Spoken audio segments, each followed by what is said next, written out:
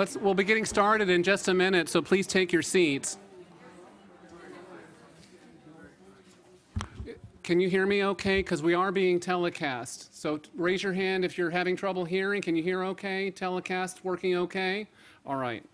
Uh, my name is David Bishai, uh, and I'm the chair of the organizing committee. And I just wanted to thank the Department of International Health uh, for sponsoring this event. Um, we also obviously need to thank Professor Carl Taylor, who founded the Department of International Health and really played a major role in there being an Alma Ata Declaration to celebrate. Um, so I'll turn it over to Dean Ellen MacKenzie, who will say a few words of welcome. At the end, there'll be copies of Johns Hopkins Magazine. If you haven't already gotten one, you can turn to, to more reading on how Alma Ata has affected our school. Well, thanks, David. Um, uh, welcome to everybody. I want to welcome everybody who's here and also extend um, a particular welcome to those of you who are joining us online uh, uh, during this uh, uh, webcast. Um, I'd also like to um, take this opportunity to thank all of our partners who, um, from a variety of different organizations, who were gathering uh, most of the morning um, to talk about um, th- through a roundtable uh, to talk about how we can move forward in um, uh, with a consensus statement um, on achieving health for all. So thank you for all of your time and all your your valuable input. And finally, I'd like to make a special welcome to Dr. Rita Thapa, um, an alumna of the school, and you'll be hearing a lot more about her in a few minutes. But thank you for being here and welcome. We're gathered here together to commemorate the 40th anniversary of the Alma Ata Declaration, which, as most of you know, was endorsed on September 12, 1978, in Alma Ata, um, Alma Ata, Kazakhstan, under the motto of Health for All.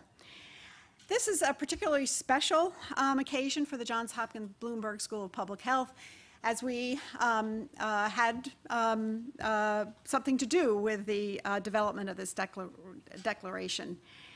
And in particular, um, Dr. Carl Taylor, who, as many of you know, is a founding chair um, of our Department of International Health, uh, was engaged in writing the declaration and the background documents uh, for the Alma-Ata conference um, and uh, uh, uh, contributed a lot to the declaration.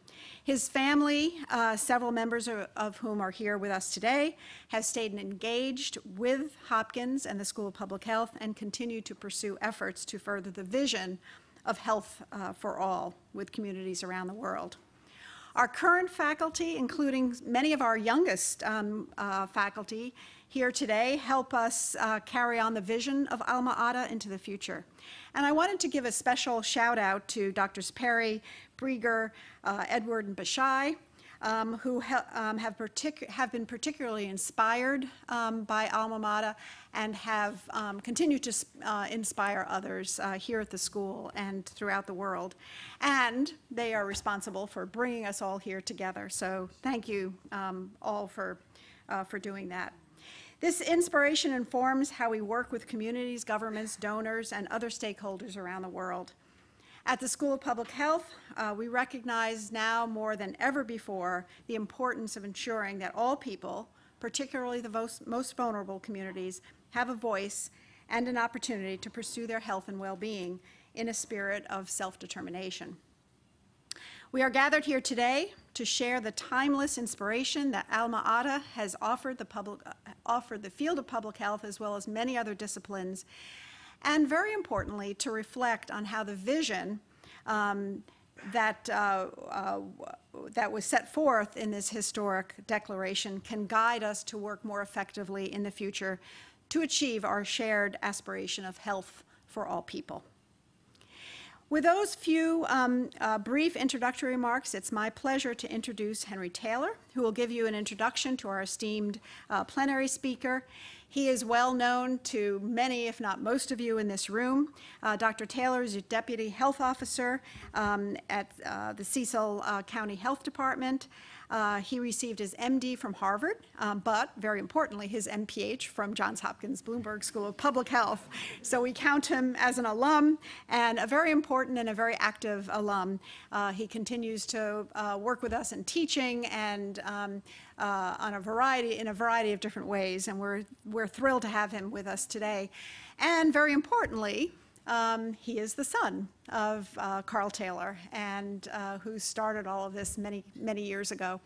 Uh, so, Henry, welcome, and um, uh, please um, come and introduce our speaker.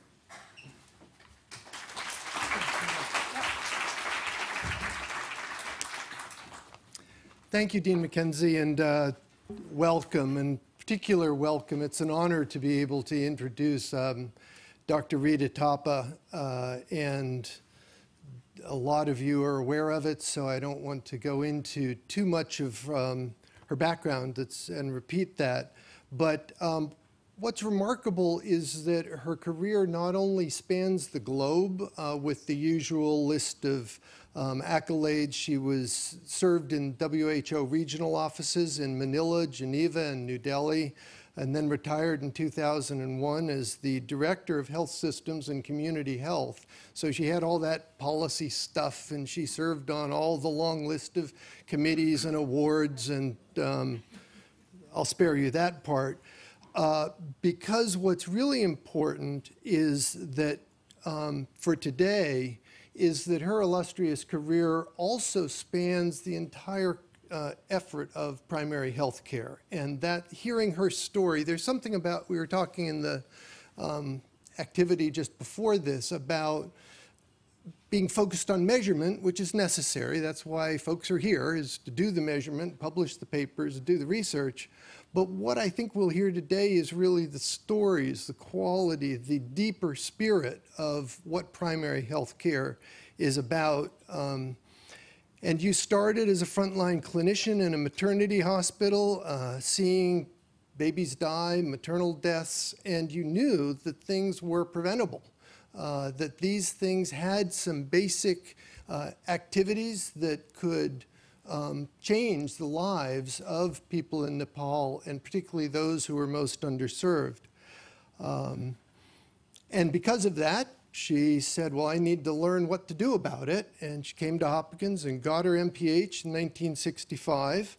Uh, so you must have been about five years old, right? Um, but, but she came and got her MPH in 65 and then went back to Nepal and was the first medical officer in charge of Nepal's Family Planning and Maternal Child Health Project, um, part of which involved being the boss to my brother, which isn't an easy thing to do. Um, uh, and then spent the next decade establishing the National Family Planning and End MCH program. And that's a point that I want to really highlight.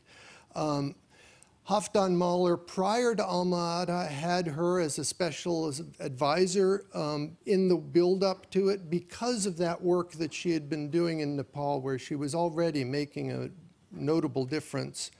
And um, then she went on to, well, to be at WHO and do all the work. I want to get through. Um, what's striking is during that time, just prior to Alma-Ata and after her MPH, she um, built this, uh, you worked through a network. The network already existed of women's organizations, the women in the different villages, and you worked through that network to, um, to deliver family planning and maternal child health services that the women really wanted. Uh, others came in later and claimed credit.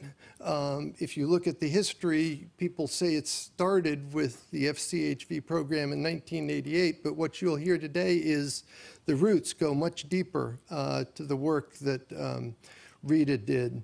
And you were able to do that because you built trust with the women in the villages, giving them the reproductive health services that they really needed and desired.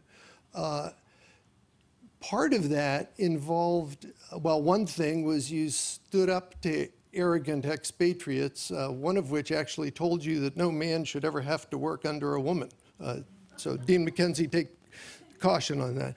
Um, but you also, in the course of it, it was a time when there was this thing called PL 480 money, and USAID kept offering this money under um, following the US political agenda to stop the population explosion.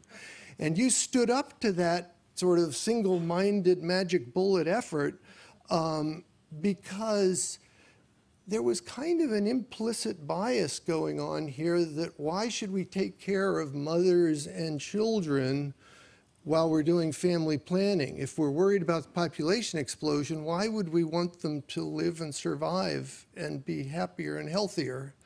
Um, and your insistence that it had to be an integrated program of reproductive health with nutrition, with family planning, uh, really has made remarkable differences. And I think you're too modest to often bring that out, but the ability to resist uh, the pressure, the political pressure donors impose and speak for the women is really remarkable. Um, and that was recognized by Dad, by Jack Bryant, by Halfdan Mahler, uh, as you advocated for the integrated programs at the community level and um, ones that people could understand, embrace, and truly own.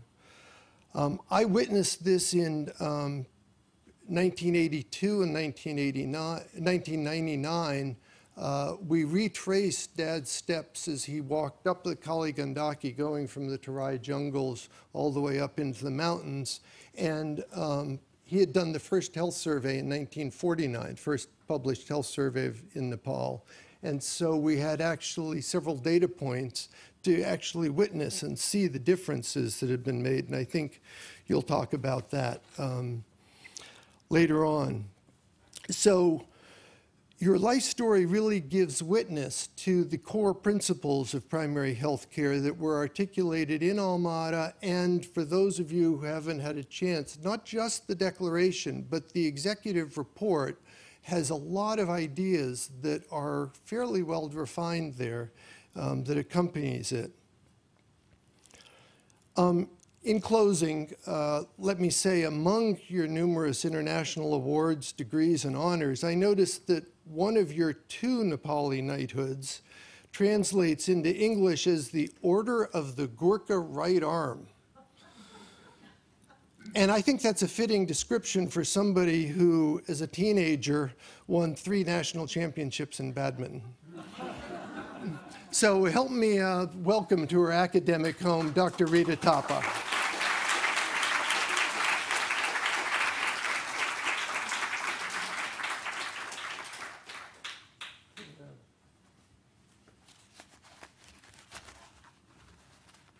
My, my mouth was getting dry, so I'll pour you some water here. Yeah.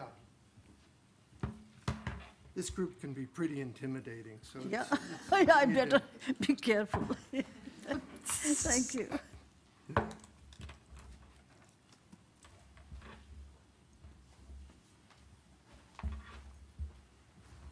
My name is Dr. Rita Thapa. I'm from Kathmandu. Namaskar to all of you. And thank you, Elaine, uh, Dil- Dean Ellen MacKenzie, for your kind welcome. And, and thank you, my Kancho Bhai, Dr. Hen- Dr. Dr. Henry Taylor, for introducing me so gloriously. I don't know whether I deserved all that. Respected chairperson, moderator, Professor David Bishai, alumni Dr. Hen- Henry Taylor, my another bigger brother, alumni, Dr. Daniel Taylor. I'm so happy he's in, in, in today present here. Esteemed faculty members of the working group and students of the 40th anniversary of the Alma-Ata Declaration and distinguished guests. I would like to begin by expressing my gratitude to Professor David Bishai and to all of the faculty and students, members of the organizing group of the Johns Hopkins School of Public Health for inviting me as a keynote speaker on the occasion of the 40th anniversary of the Alma-Ata Declaration. As one of the attendees present at that historical declaration, I feel extremely honored to be celebrating its 40th birthday at this prestigious campus where I, I learned the ABCs of public health some 50, more than 50 years ago. I was the first woman from Nepal to come to attend the Johns Hopkins School of Public Health. After obtaining my degree in public health, I went head starting Nepal's maternal child health and family planning project. And to have a long career in Nepal and internationally at the World Health Organization. I offer my gratitude to my all teachers of then for transmitting me their invaluable knowledge of public health. I would especially like to offer a deep tribute to the legendary professor, late Carl E. Taylor, for teaching me the cardinal health mantras that have guided me throughout my career. I grew up in Nepal at a time when girls' formal education was illegal. Marriage was the only career option available. Thanks to my unusually liberal father, I was able to escape such fate. Nepal's modernization began in 1951 with ushering in of the first wave of democracy. I am a proud product of that wave, which, among other things, also legalized girls' education. The health situation at that time was grim, with the average with grim, as described accurately by Professor Carl E. Taylor in his medical survey of Kali Gandaki and Pokhara, which is likely the first ever health report of Nepal. The country's total population was then 8 million, with an average life expectancy of 40 years. 10% of the, only 10% of the total population were literate, with 37% of all deaths occurring among infants.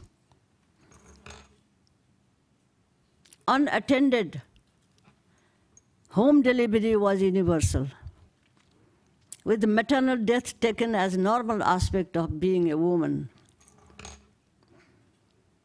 From this fact alone, one can easily understand why the maternal mortality ratio was at its natural level, that is 1500 or more so per 100,000 live births. The under 5 mortality rate was more than 300 to 400 per thousand live births. And the percentage of married women using contraceptives was at zero level. A considered national health development development of public health began with the country's first five-year plan, that is 1957 to 62, with the malaria eradication project. My career trajectory, trajectory in public health began against this backdrop.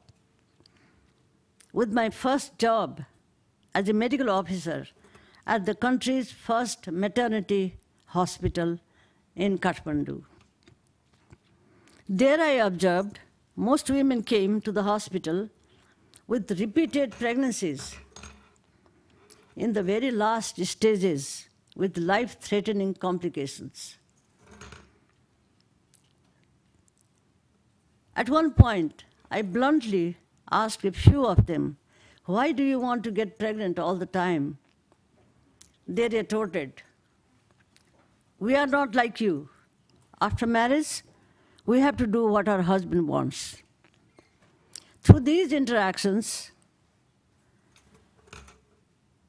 I learned the disempowerment of women. I learned their, they don't have any choice in their own reproductive health, an issue of gender disempowerment. That left me with a huge personal challenge. How could I empower women to overcome the syndrome of repeated unwanted pregnancy? If only that had access, if only they had access to basic family planning and prenatal health care services, so many deaths and disabilities could have been prevented. This is why I came to Johns Hopkins to study public health. I had to leave my firstborn child of 11 months to come here, which was very hard for me, as you all will understand. But I could do it with the support of my husband. From Johns Hopkins, I went in 1965 to become the first medical officer in charge of Nepal's family planning and maternal child health project. The government of Nepal had adopted a family planning policy in its third periodic planning period, spanning from 1965 to 1970. The purpose was to balancing economic and population growth. Family planning since then became an integral component of maternal and child health. Together, they took off as a priority health program in Nepal. But I had never imagined of facing so many anomalies. As Nepal had no prior policy, experience, program, and health infra- infrastructure, starting at family planning MCS project felt like a mission impossible.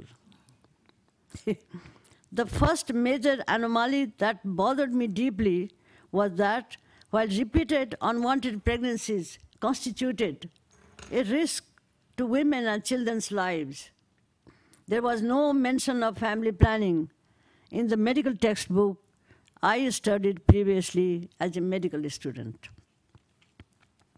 At the Johns Hopkins School of Public Health, I finally learned about MCS, family planning, and population dynamics.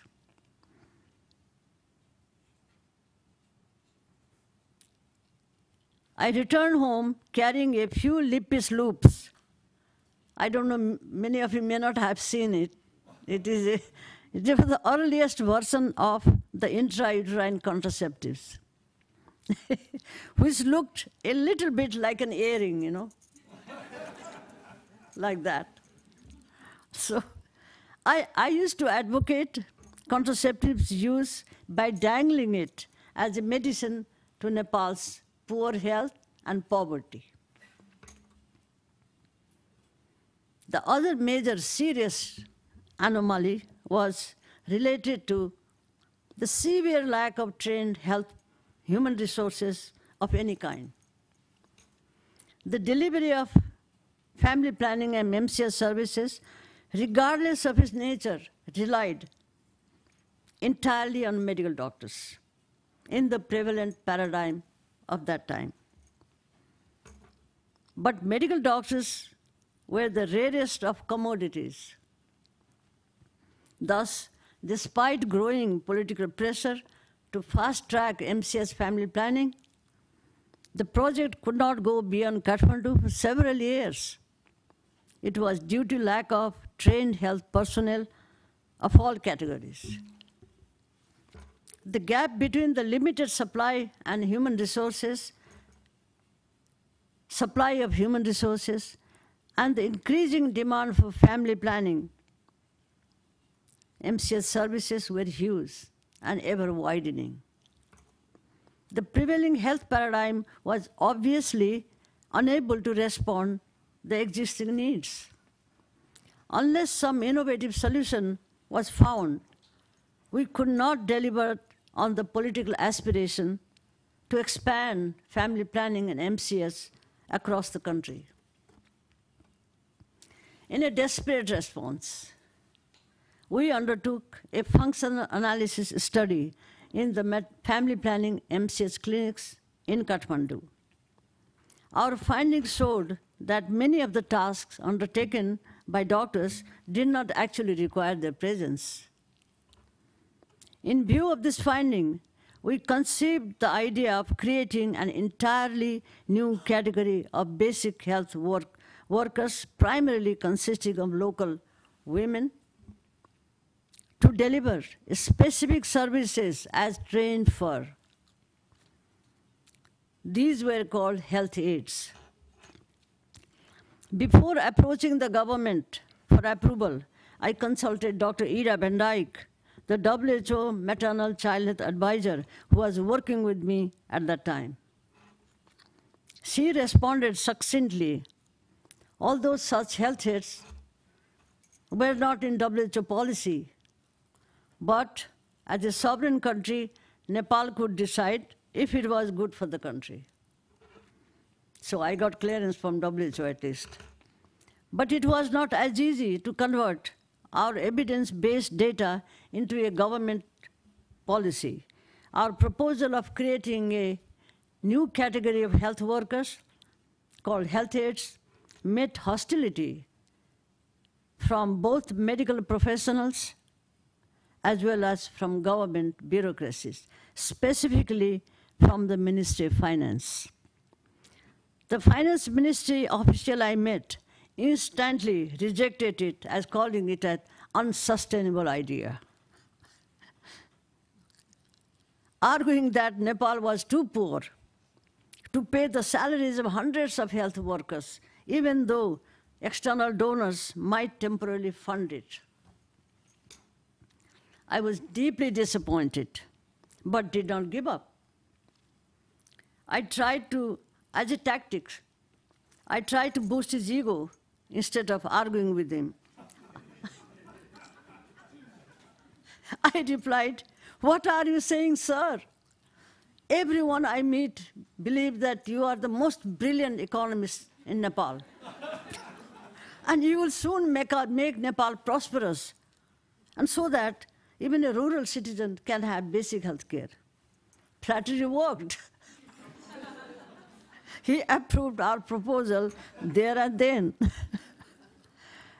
In 1967, His Majesty's government of Nepal finally approved our proposal to recruit and train 104 health aides, mostly women. This was, a, this was a moment, very important moment, when we succeeded to breaking the old health paradigm that had failed to respond to MCS family planning service needs. However, our policy action had yet to withstand another difficult test the acceptance of the communities. That was very important.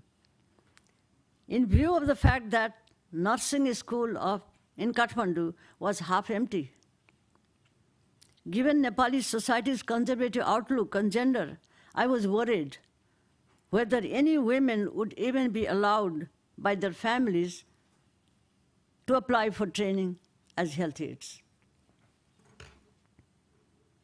But soon, and by chance, one incident erased my worries. In 1968, I was in Ilam district, east of Nepal, to open new MCS family planning clinics. Around midnight, a health assistant woke me up to show me a severely dehydrated toddler lying listlessly on her mother's lap. Initially, I panicked. I had nothing at hand to treat such case. Yet, I had to do something as a medical doctor. I improvised instantly an oral version of a saline drip and instructed the mother to make medicine water by boiling about five tea glasses of water with a pinch of salt and the fistful of sugar. And so, and let it cool and feed the child intermittently, even while breastfeeding her. Having done that, what I could, I prayed and went back to sleep. But with the lingering feeling, fear that I might hear the mother wailing at any time. I did not he- hear any such wailing though. Around five in the morning, when I opened the door very slowly, I saw a miracle. Truly a miracle. The child was playing on her mother's lap. This proved to be a eureka moment for me. It erased any doubt in my mind about innovating new solutions suited to Nepal. It showed how to scale family planning MCH nationwide. Let me explain. The incident empirically proved three things that could save lives. One, a simple homemade medicine water. We call it nun chini pani, salt, sugar, water, could save thousands of children's lives. That is how the modern commercially produced oral dehydration solution called Jeevan, J- Jal was born in Nepal. Second, mothers could prepare and administer simple life saving technology such as this. And thirdly, most important, mothers could also change their health behavior, as the woman did by feeding her child medicine water, contrary to folk norms of restricting water during diarrhea. What I learned from that incident resonated what Professor Carl Taylor had been saying us, saying all along. Train mothers as the number one healthcare providers. Use homes and communities as the number one healthcare facility. Regard behavior change as the number one medicine for true health. After this, there was no stopping us. we went on training community based health aides who were mostly married women to deliver basic MCH family planning services in their own communities. It was particularly rewarding for us to find health aides willing and even eager to return to their own communities after training, unlike nurses and doctors. Not only did health aides met the acute shortage of human resources, they also formed a pool of experienced candidates to recruit for further professional training. Over the years, the initial name health, of health aides was changed to village health workers. I will explain it later. More importantly, my hope for them came true. During Nepal's sixth periodic planning period, spanning from 1980 to 85, the government decided on its own to support the cost of village health workers' salaries from its own regular budget. So it was not drawn to any foreign uh, donors from its own taxpayers' money.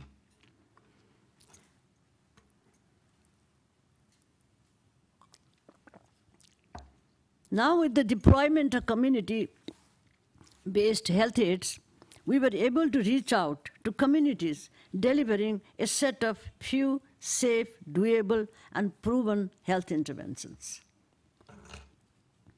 A few examples of such interventions include health education, communication about basic hygiene, about family planning, about the homemade oral dehydration that I have described, about immunization, about breastfeeding, about screening of under five children's malnutrition by using mid-arm circumference tape, about infant and child feeding, about treatment and prevention of protein calorie malnutrition with homemade and affordable foods such as traditional gruel called lito in Nepali, which has since gone into commercial production as Sarbotam Pitho. But I also had my gender battles to fight while I was in maternal child health family planning project. I was insistent on keeping, as a woman, I believe this very dearly. It is benefit, beneficial for women and children that keeping family planning and maternal child health services as single integrated package delivered from one door. But a male representative from a very powerful major donor agency wished to separate family planning from MCH, as was the practice in neighboring countries. The idea of separation did not sit well without field evidence, which showed integrated MCH family planning services to be more synergistic and holistic, while family planning services offered maternal child health and infrastructure. MCH developed rapport for family planning among MCH clients, winning their trust and providing an excellent contact point for family planning motivation. To my shock, I learned that not only did this male representative of a donor agency provoke the predominantly male staff in my office not to work under a woman. He also went on to lobby for my transfer from the project. However, thanks to the political leadership of that time, the government stood firmly by the side of the integrated approach. I was not surprised to hear a few years later that he was expelled from work for his anti woman behavior.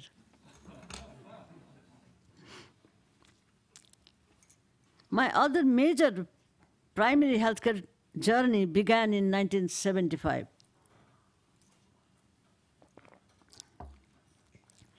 When the government appointed me the chief of Nepal's primary healthcare project called Integrated Community Health Service Development. This was a mega project born out of an imminent threat of resurgence of malaria. Nepal's malaria eradication project, which has started as the first development project in 1957, had reached its targeted maintenance level by 1972. But there was no basic health infrastructure to maintain this gain. This is when the government changed its policy from a vertical to integrated approach, creating the Integrated Community Health Service Development Project. It was not easy. I still remember, I really shudder, you know, sometime, how I did it. It wasn't easy to bring the functions and operations of the five vertical projects under single administrative umbrella of the Department of Health Services. This, among many other works, also entailed endless discussions and arguments with my five brothers, I used to call them, the five particular project chiefs, who were united in their opposition to an integrated approach. But we worked on a war footing to establish a countrywide network of integrated district health offices, integrated health posts, and linking them with the village health workers, mothers group, and female community health volunteers within the districts. We institutionalized the basic primary health care services provided by the five vertical projects by organizing them along an integrated district level health system while safeguarding their service quality down to community level.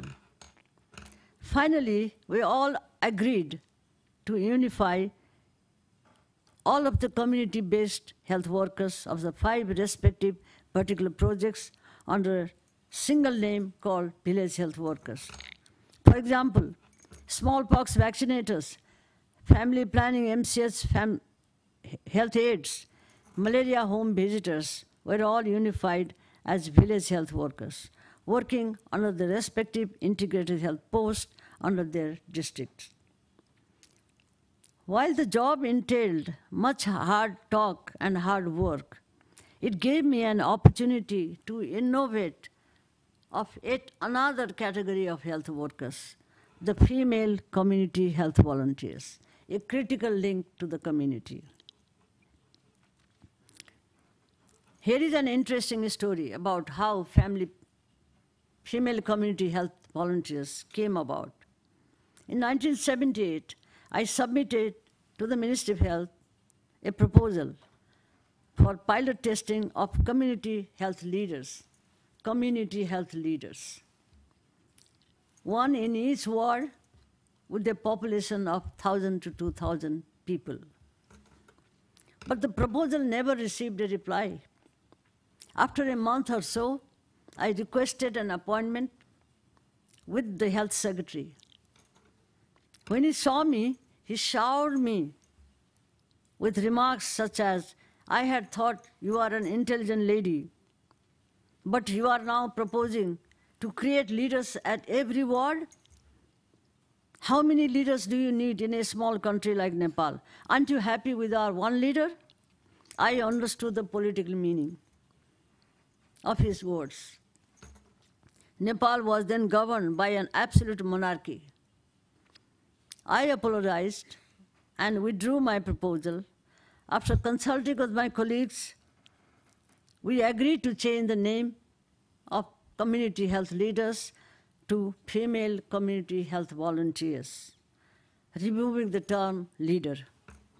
A rose is a rose, whatever name may be the name. When I sent the proposal with the changed name, the secretary immediately approved the proposal. I, I felt grateful to him for correcting my politically incorrect vocabulary of that time. After a pilot test, the female community health volunteers went nationwide with the support of USAID.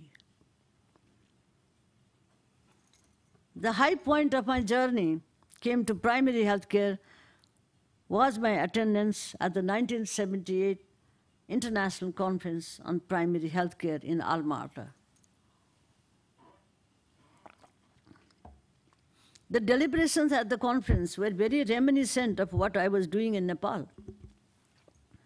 I found Dr. Halfdan Mahler's address invigorating, and I was inspired by his call for a new health order. This was the first time I had heard Dr. Hafton Malar. I was moved by his call for just and lasting ways of bringing health to all. My other unforgettable memories are of late Senator Edward Kennedy. I still remember the electrifying address when he told the audience, and I'm paraphrasing, you eradicated smallpox from the face of the earth. You did so by reaching every home in every village. So now you can reach every home with primary health care. Nothing could have been more uplifting and more inspiring. I return energized, feeling we can do it. Encouraged but nervous, I too shared at this August forum our experience of using village-based community health workers to deliver primary healthcare services at the grassroots. I felt immensely encouraged to see the Alma-Ata Article 7, Article 7 of the Alma-Ata Declaration resonated with our experiments in Nepal. I returned home from the Alma-Ata feeling exhilarated, encouraged to establish a nationwide network of community-based primary healthcare system, which I did and went on doing. The government of Nepal endorsed and adapted the Alma-Ata Declaration. Accordingly, we continued to weave the principles of Alma-Ata Declaration into, our, into the country's community-based health systems. Following the Alma-Ata Declaration, I never stopped advocating in every WHO regional committee meeting and other related meetings I attended for the inclusion of maternal mortality ratio and contraceptive prevalence rate in the original global list of health for all indicators.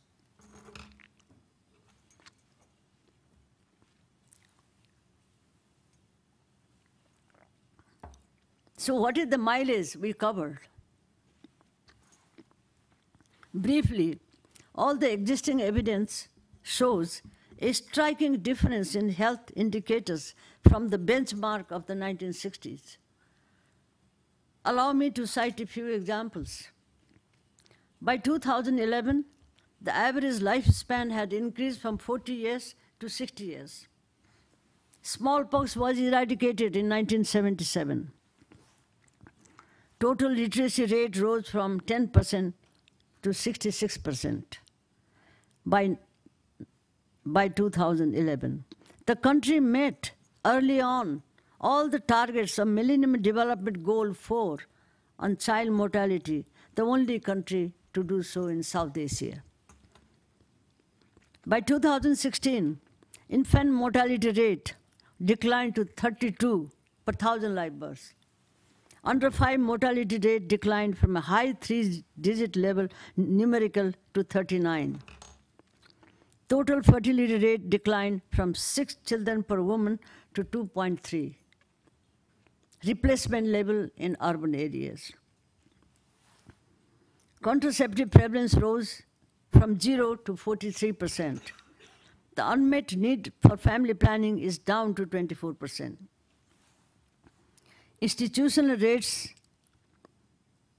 of delivery shifted from universal unattended home delivery to 57%.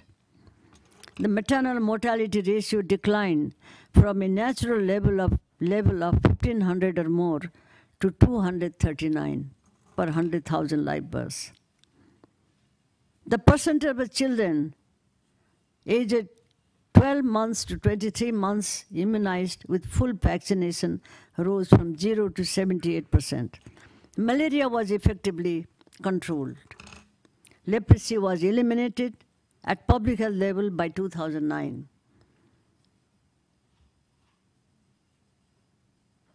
Nepal celebrated its zero polio status in 2014.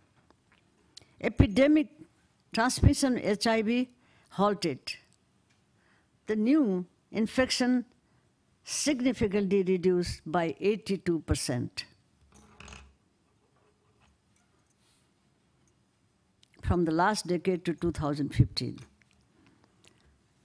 So, what helped Nepal come this far? We may like to ask this question to ourselves. Agreed that several interrelated health and social factors come into play to influence health outcomes. However, evidence also shows that unless some proven health interventions are accessible at the population level in continuum from over the time, long period of time, such health gains are not possible. Keeping this, this in mind, I will attempt to track down a few primary healthcare based policies, strategies, principles that have hugely helped to create a healthy, healthier Nepal today. Firstly, the first is the innovative strategy of breaking away from the old health paradigm to a new that trained and used community based health workers to deliver primary healthcare services. Training and mobilization of female community health volunteers to deliver an integrated package of interventions has paid back a huge health dividend. As one study puts it, female community health volunteers are saviors of women and children, offering basic health services at the grassroots. Another study concludes that the female community health volunteers have effectively contributed to maternal mortality reduction as the country's alter alternative pathways and strategies. Second is Nepal's adoption of an integrated approach. The integrated health system, with a country-wide network of more than 50,000 ward-level female community health volunteers and some 4,000 village health workers, reached a large number of clients at community level with a proven set of interventions over a long period of time, thus bringing a striking and, I'd like to emphasize, sustainable health outcomes. For example, maternal and child mortality continued to decline even through a decade-long internal conflicts in Nepal start from 1996 to 2006. It was surprising for us to find out that that was a difficult moment in Nepal. It was very hard, hard time, but the maternal mortality and child mortality continued to decline. The integrated approach has been found more equitable access to primary health care with better user and provider satisfaction and greater sustainability in communities than those without it. The integrated approach to primary health care was found also cost effective. In terms of disability adjusted healthy life years, Nepal's healthy, health outcome over 50 years has, has been higher than its per capita health expenditure of US dollar 41. Third is the sustained policy priority to the integrated package of essential health care with 77 to 75% of government's total health expenditure from 2001 to 2009, which has been a critical factor.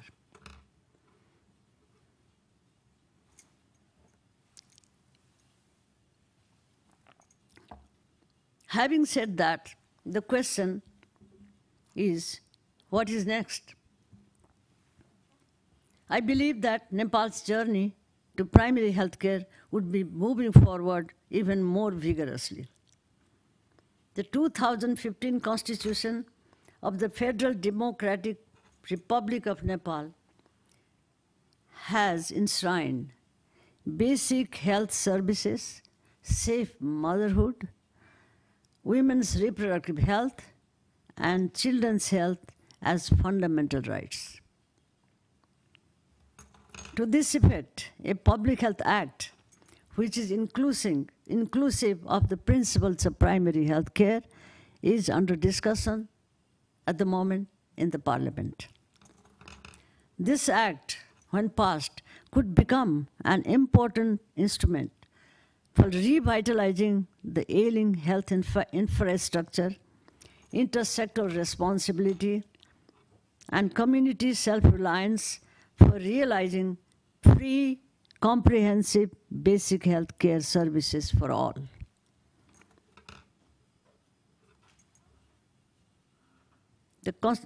In conclusion, as a member of the public health team of the old Kingdom of Nepal, I feel proud to greet the Federal Democratic Republic of Nepal with today's much healthier citizens.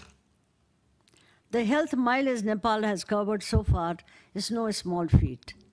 For a country marred by centuries of feudalism, poverty, illiteracy, discrimination, and virtual absence of any health infrastructure, what has been achieved is a public health breakthrough, a solid foundation for building of universal coverage for public health and basic health services.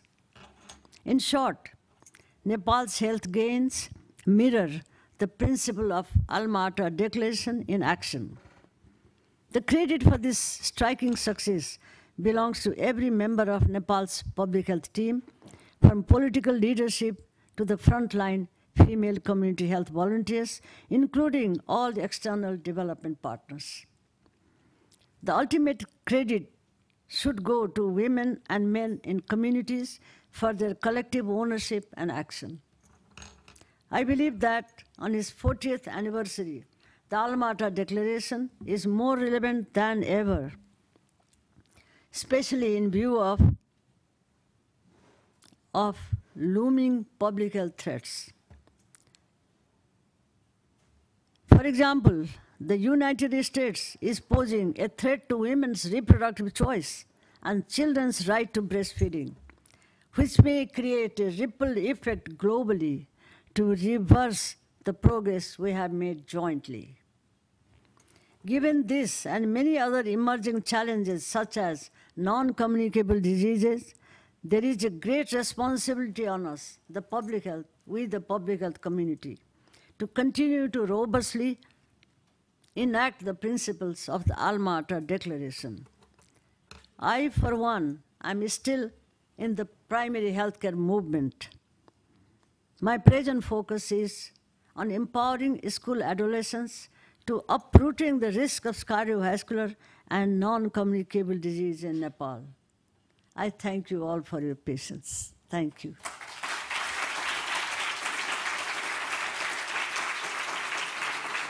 Thank you.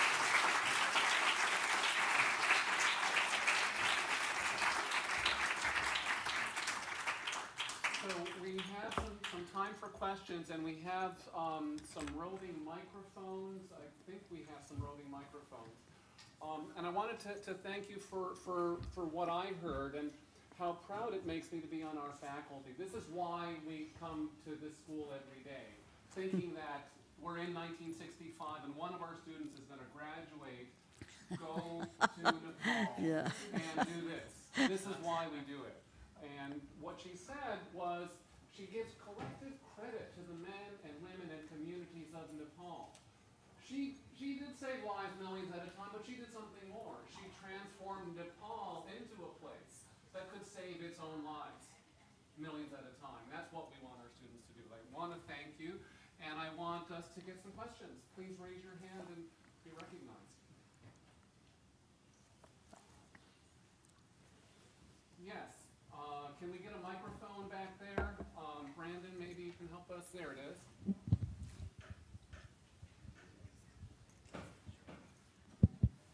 Oh, there's one over here too.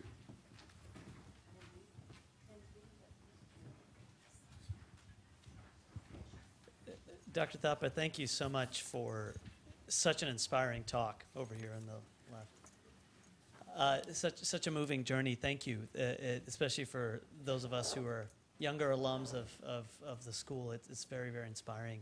I wanted to ask you about the next 40 years. What do you see as the potential for community-based primary health care? What might it look like in the year um, 2058? Shall I answer? That's a very good question. Many years ago, when I was training female community health volunteers, they, are, they had asked me, What is our future? We are not salaried workers. What would be us?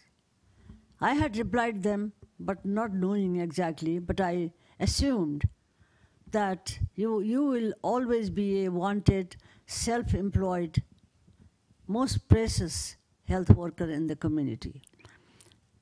Taking from that experience that they are today, you know, our female community health volunteers are not only the backbone of health, but also they are the community leaders. They are the leaders of the community. Now, what happens? Because there are many types of, like village health worker, they are the salaried worker. So they have their own career ladder. But sadly, in Nepal, you know, those old community health, I mean, village health workers whom I had trained, of course, they have become as old as I am. So naturally, everybody wants career ladder or something. So some of them have been promoted, which is good. I like it. But what has not been done to replace them, to train them in their place? Because once they become institutional, they are become institutional staff. They won't go to the communities. They don't link up with the female community health volunteers. So there is a threat. Okay, that, that type of, we have to look at that, okay, promote but then replace. As far as the community health, female community health volunteers are concerned, they will always be there. They will always be, because they are the part of the communities. You know, and you see, they are, they are the communities and they are the leaders and they serve people. And, you know, somehow, and also, given the fact that our country has moved from, Nepal has moved from the absolute monarchy to the, to the, you know, Federal Democratic Republic of Nepal. So there's the federal, provincial, and local political levels. And it's completely decentralized, and we are in a we are in a now transition how to decentralize, but it will be decentralized. It is it is decentralized, and there is a Public Health Act that pulls all the multi-sector together at the local level. So I see I see no threat. You know, they will only prosper. Prosper. They will be more valuable than ever before. Thank you.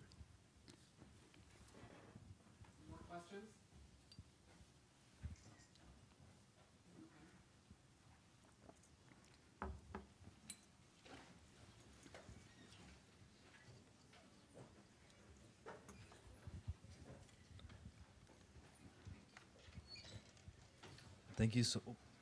Thank you so much for your presentation. Um, I was curious. Um, you mentioned uh, in some points in which you were able to maybe charm the the leaders um, of the, different institute. Sorry. Please louder. Oh, thank you so much for your presentation. You, I appreciated some of your anecdotes about charming some of the leaders um, to come along with you. Um, I'm wondering about the other side from the grassroots. What are what are some of the things that what are the methods that one can use to have uh, new ideas or new um, input from the grassroots, the people who are local on the ground who are doing the work?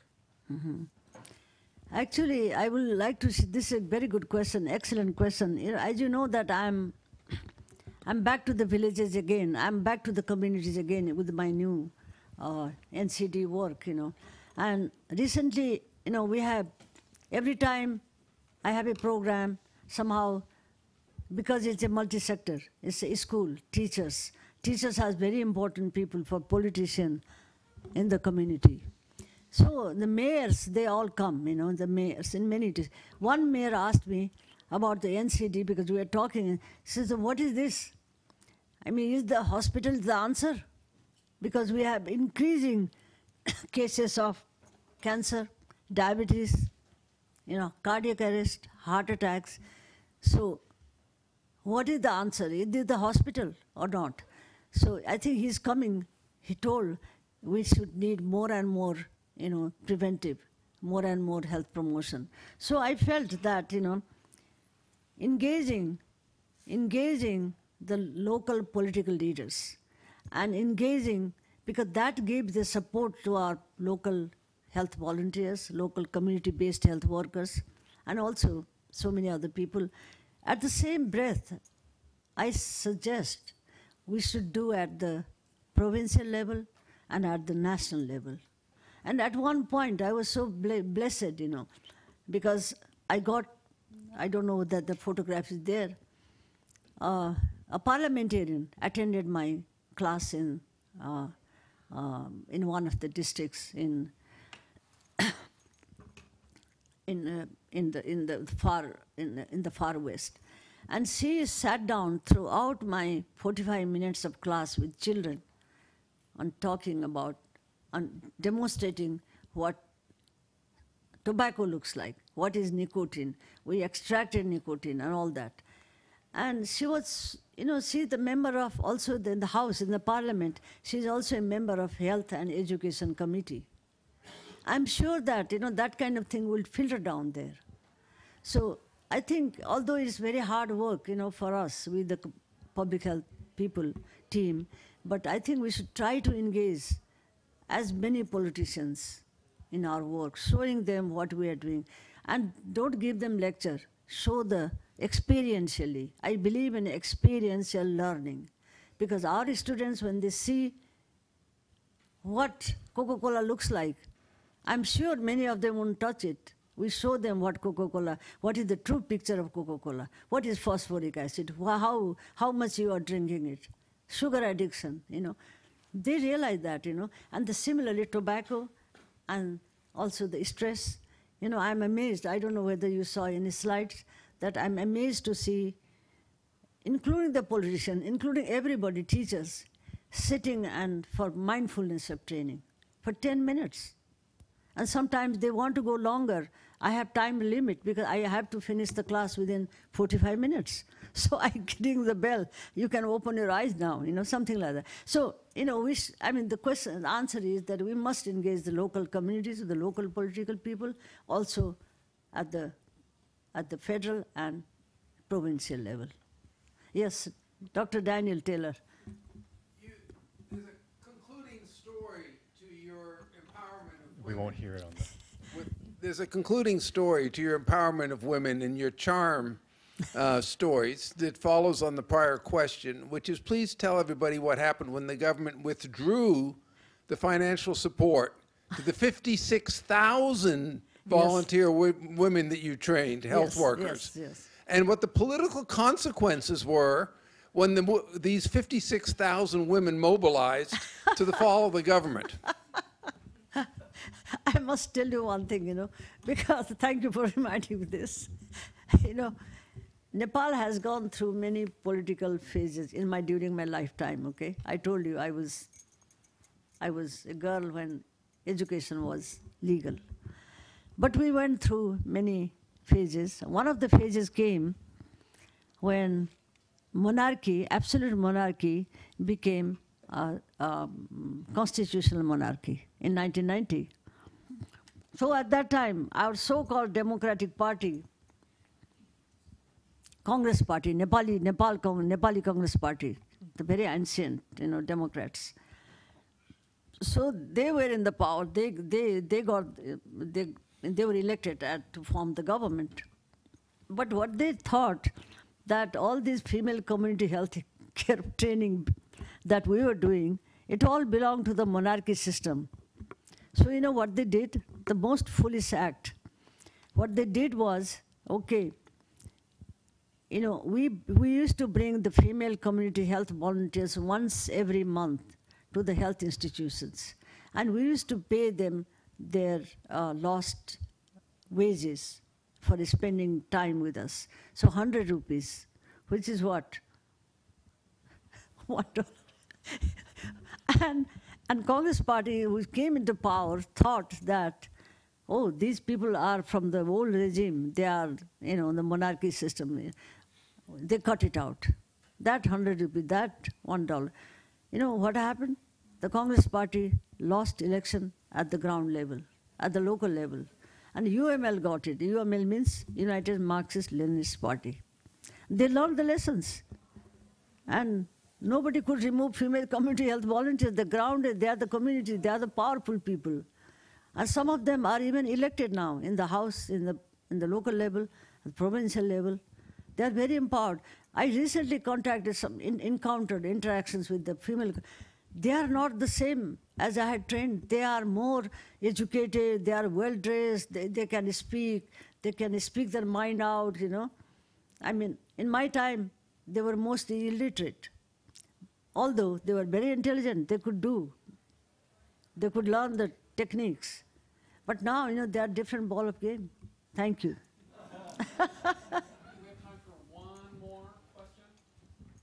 Hi, Dr. Thapa. Uh, I just have one question. Uh, so, four years ago, we had the Alma-Ata Declaration, and we stand here four years later, still talking about the same subjects about placing primary health care at the center of, uh, of global health and services. Uh, so, I wanted to ask you if you think um, we have failed to accomplish the Alma-Ata Declaration? And if so, what is one lesson that you can maybe give us to the new generations to avoid repeating the same mistakes of, of that uh, of the event? I don't know whether I understood it. Uh, did you ask me whether we failed Alma-Ata Declaration? Yeah. No. no. As you see, the Nepal case study, we didn't fail. Actually, we enacted Alma-Ata Declaration. But many other countries are also doing, you know. And you see, we cannot do everything at a time because we are in different, different phases and different, different situations and different, different, you know, uh, political systems, you know. So I, I would not call we have ever failed. You know, some of the other countries also, you know, they have come up. Look at how, how did we got rid of polio? How, what did it cause? Polio eradication, now we don't have it. They mobilize multi-sectors. Even the bus drivers were involved into this. Eh, And across the countries. We gave polio drops uh, across India and Nepal, you know, at the same day, millions of children. What did that? I don't think primary healthcare has failed, really. What, what, what has failed, maybe we didn't try hard enough. You know, this is where, and you know, any project, any, any, any agenda, you, you cannot get everything up. There is always an unfinished agenda, unfinished task. So that are the unfinished tasks. Let's not call that failure. Let's do it. Thank you. Thank you. Thank you. Thank you. So we can continue our conversation outside at the Wall of Wonder where there's a, a reception, and I welcome you all out. And let us give us one more thank you for our guests. One more time, I would like to thank you. You inspire me. I feel I'm, you know, very old, ancient public health worker, but today you gave me the feeling that I'm still relevant. Thank you.